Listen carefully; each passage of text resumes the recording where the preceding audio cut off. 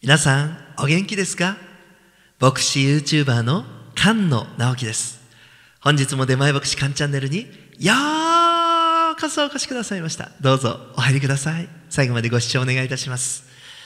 本日12月4日土曜日、いつか死ぬこと以外は決まっていないという題でお話をいたします。いつか死ぬこと以外は決まってないんですよ。今日このメッセージを聞いてまあどう思うんでしょうね。いや心配しなくていいな。良い人生も悪い人生もどうなるか決まってないんだ。私たちがどう生きどう選びどう考えていくかで人生はいかようにも変えられるんだ。ということではないでしょうか。で死ぬことは決まってる。じゃあ死ぬまでに何をすべきか。何がやりたいのかを考えてやってみたらどうでしょうかね。明日悩んでいるとしたらそしたらそのレンズ明日を悩むというレンズを今の自分に向けてみてください。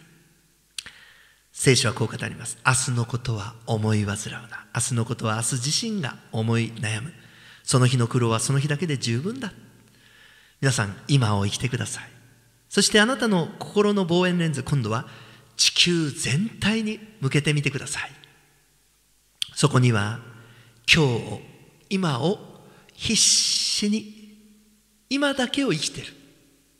過去も未来も考えられないほど今を生きてるそういう人がいるんですよね。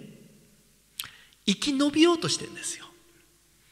100人の村というお話があります、まあ、これは世界人口をその100人に割り振って統計のそのお話ですが、まあ、世界を100人の村と考える、まあ、そうするとですね57人がアジア人21人がヨーロッパ人14人の南北アメリカ人8人がアフリカ人52人が女性48人が男性70人が有色人種30人は白人。70人はキリスト教徒以外の人。30人はキリスト教徒。89人は異性愛者。11人は同性愛者。え？LGBT って100人のうち11人もそうらしいです。で世界の6人100人のうち6人がなんと世界の59%の富を所有しその6人は全てアメリカ人だ80人は標準以下の移住環境に住んでいる。標準以下ですよ。70人は文字が読めない。文字読めない。50人は栄養失調に苦しんでいる。そして1人が今餓死の状態になる。今死のうとしている。そして1人が今生まれようとしている。そして皆さん大学へ行けるのは世界の100人のうち1人ですよ。そう。たった1人です。もしあなたがね大学行けたとしたらもうこれだけでねどれだけ恵まれてるか。もちろん中卒だ高卒だ。まあそれでもね恵まれてるんですよ。私たちはそのように考え私たちは世界をあるがまま受け入れまた相手を受け入れる理解する。私たちはそのように生きていきたいものです。もしあなたが今日目覚めた時病気じゃなくて健康だったとしたら皆さん今日死んでいく100万人の人よりあなたはどれだけ幸せでしょうか？今生きられる今日生きられるんです。もしあなたが今危険でなかったとしたら命狙われてなかったとしたら世界の5億人の人たちよりあなたは平和で恵まれた環境にいる。そしてまた今拷問にあって苦しめられてないとしたらそして教会に行くことができるとしたら世界の30億の人よりあなたは恵まれている。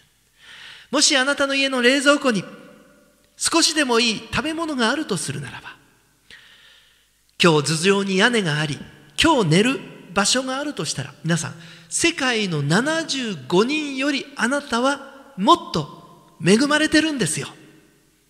裕福だ。そしてあなたの銀行口座にあなたのお財布の中にちょっとでもお金が入ってるなら皆さん世界の最も貧しいその8%の人よりもあなたは恵まれてる。いやその8%に入るその裕福な人に入るんですよ。そしてあなたの両親が今生きているとしたらそれはとても稀なことです。私たちは客観的に見る必要がある。自分で自分を不幸だ貧しい恵まれてないそんな甘ったれたことをというのもですねちょっときついですけれどね。私たちはいかに自分が恵まれているか。そして神に感謝すべきだ。私たちは世界に目を向けていくってことも忘れないで生きていきたいなと思いますね。そして今恵まれていることを感謝するとともに神が喜んでくださるそんな生き方をしていこうじゃないでしょうか。安らかに導かれイエスの皆を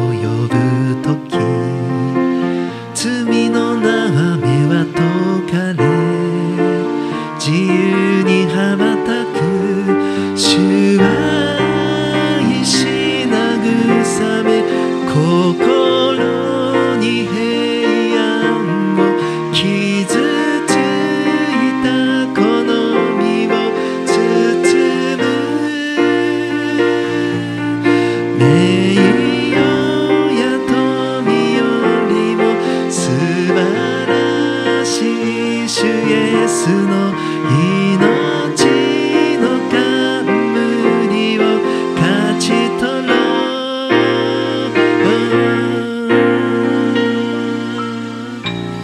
最後までご視聴ありがとうございました。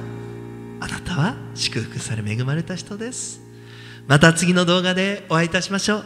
ごきげんよう。さようなら。